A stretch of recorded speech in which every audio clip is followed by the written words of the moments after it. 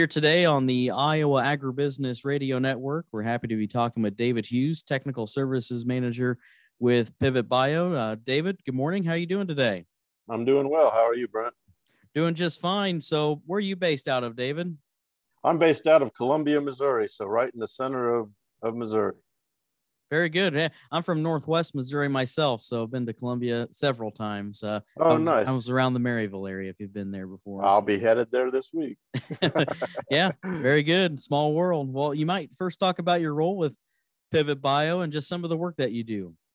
Yeah, so uh, I've been with Pivot Bio since August uh, of last year, so almost a year now, and uh, I am basically responsible for business and technical operations in in the state of Missouri.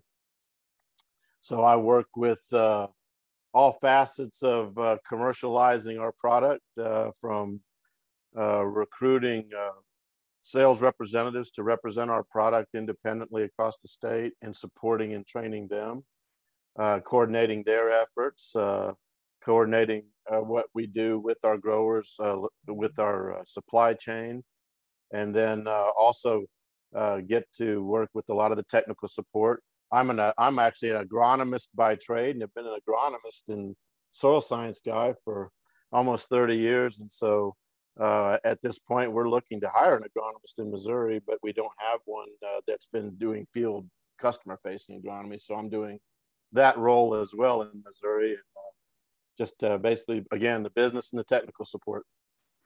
Well, there was a, a, busy day last week around the, the Lexington area. Uh, you folks hosted a, a, field day. You might kind of break that down for our listeners and what was taking place that day. What were you showcasing? Yeah, so that was an opportunity uh, for Pivot Bio to to talk to the ag media uh, in a field setting, and we went to a farm uh, over around the Lexington Dover area of Missouri, which is it sits on 24 highway and it's kind of a second bench kind of ground up above the Missouri River. In fact, uh, it's very close to where Lewis and Clark had wrote in their journals when they were taken off that uh, they passed a place called Sheep's Nose because it had the the rock outcrop looked like a sheep's nose.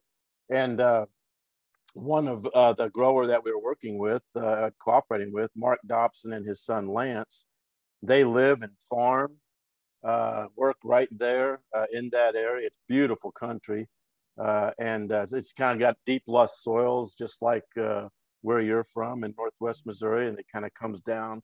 That deep loess soil uh, hits that Missouri River bottom, and so that that transition in those two types of ground make it for a really neat place to to work and live and farm. And we were we were actually actually showcasing uh, what we are doing with uh, Mark uh, and Lance Dobson on their farm to do field demonstration and trial work on kind of two things. Uh, one trial or demo we were talking about with the media that day was Lance's uh, very substantial effort that he did did on his own. I supported him in it, but he did a lot of the the thinking through what he wanted to look at and putting it out there on the farm on his own, uh, where he was looking at different nitrogen management practices uh, and just which ones were going to perform better on their operation as they incorporate now a biological source of nitrogen in, into their system from Pivot Bio. And then the other uh, demonstration we were talking about and showcasing was our new generation two product, uh, biological nitrogen source, that we also had a side by side trial or demonstration, if you will, uh, on that same farm.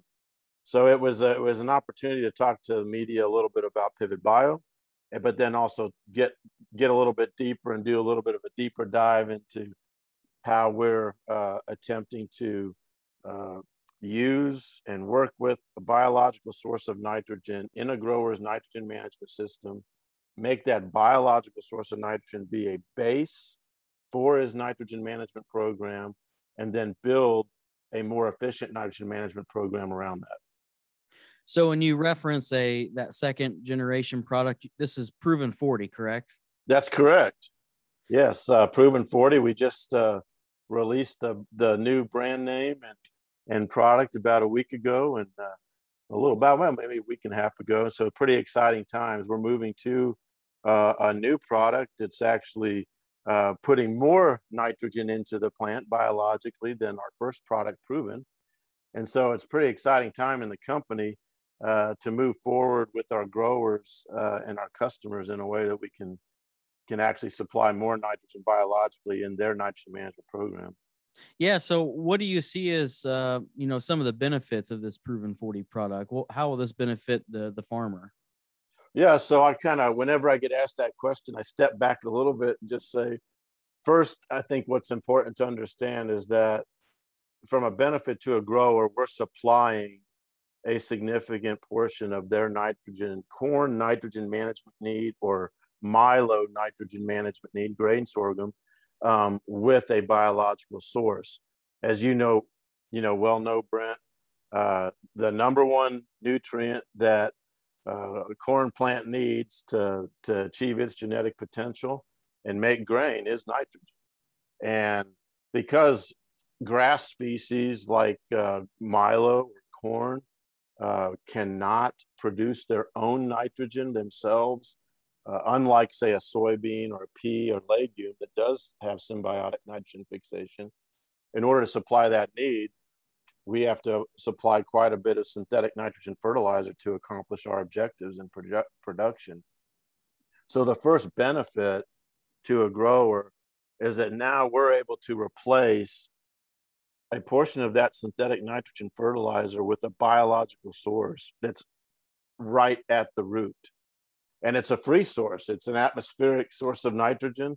Uh, it as the bacteria colonize the corn roots and begin to to perform nitrogen fixation, they put that nitrogen in the ammoniacal form, which is a is a form of nitrogen that the plant likes and it needs, puts it right straight into the root. And so that source of nitrogen is not available for environmental loss. It isn't sitting out on the ground in between corn plants or in the soil when it gets saturated where we get excessive rainfall and the synthetic nitrogen fertilizer when it hasn't made it into the plant yet then can leach and get below the root zone in one loss pathway. And in another loss pathway it can gas off in warm saturated soils and go back into atmospheric nitrogen producing nitrous oxides and some of the actual more severe greenhouse gases. So the ability to replace synthetic with biological source of nitrogen is the number one benefit we have for a grower. When we talk about our new generation two product, Proven 40, the additional benefit is this product is an improved product, two new bacteria, uh, and that have the capability now of supplying 15 to 20 pounds more nitrogen per acre into a corn plant than our first generation product. So it's it's the ability to, to have that biological source, but now we even have a better biological source that can replace more synthetic fertilizer. There's certainly going to be some cost saving there, right, with this 40 pound product? Absolutely. So the primary cost saving is is in the efficiency of the nutrient source. and that's what's really important to understand when we go out as farmers and growers and we apply synthetic nitrogen fertilizer to our corn and our grain sorghum, we we write a check for that nitrogen, and, and of course nitrogen prices fluctuate with commodities, and and uh, some years it's better than others, and then different sources of nitrogen have different price tags, and as they become available or in more demand or or need throughout a growing season, and but the challenge to synthetic nitrogen fertilizer that we've always had to face, especially in, like in my role as a crop advisor for so many years, is developing management strategies that make that more efficient. Because when it's operating at its very best, and, and I mean this like when all cylinders are hitting, synthetic nitrogen fertilizer at its best maybe is 70% efficient. And by that, by that I mean 70% at best ends up in the corn plant. You know, so you you apply a product and input that that corn plant needs. Your target, your objective for that dollar that you that check that you wrote is to get it into the corn plant And even when things are going fantastically, uh, we're lucky when we get about 70% of that into a corn plant. When we move and transition to biological source of nitrogen, now we have the capability in a, in a pass we're going to do anyway because we apply our product in furrow with the liquid application system on a planter. So as that planter is going across the field, we apply that bacteria in furrow so that it can make contact with the emerging corn roots right away.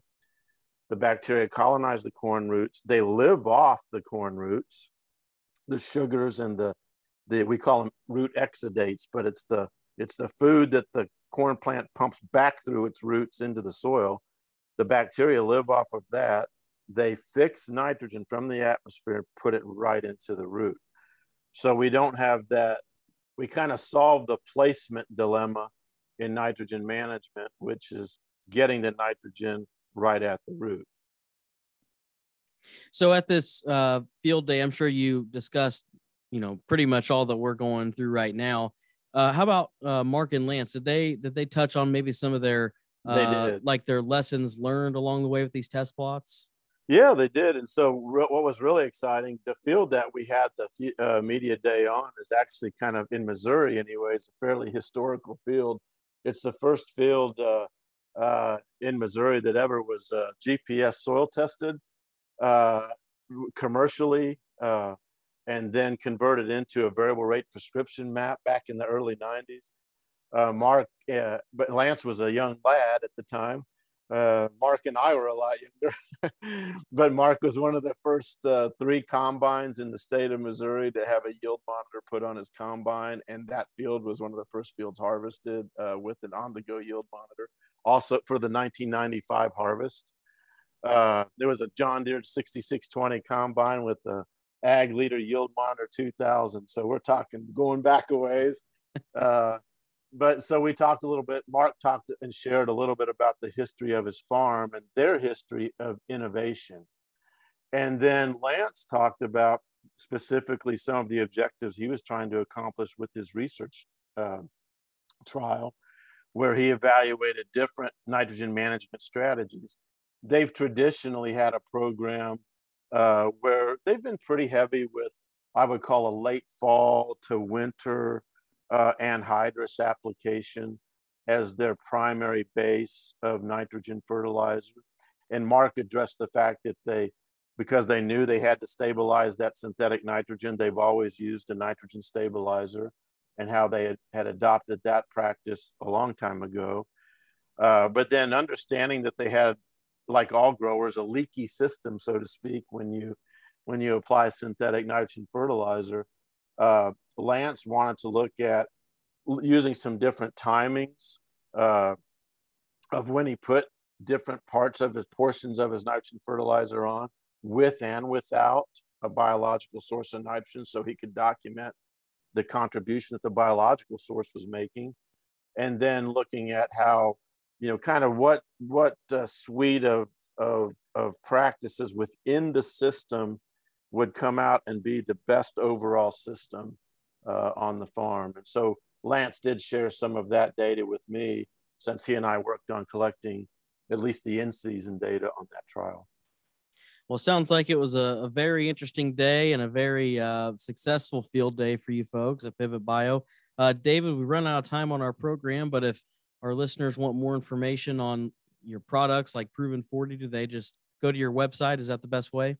You know, the website's fantastic and it is a really good way to get on and talk and talk to us.